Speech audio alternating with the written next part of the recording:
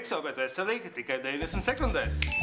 Šodien gatavosim pastu carbonāru, vai, teiksim, tautā saka makarons ar kūpinātu gaļu. Mēs ņemsim garšīgo gaļas kūpinājumus, trīs veidu ķiplociņu, sīpoliņu, saldo krējumu, parmazānu, sieriņu un citroniņu. Visu sagriežam.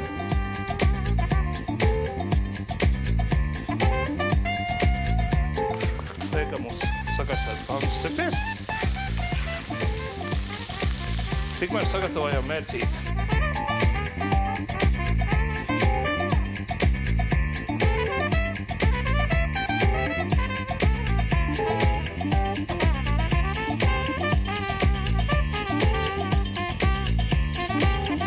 Metam iekšā makaronus un pārlējam pāri saldo krējumu mērcīti.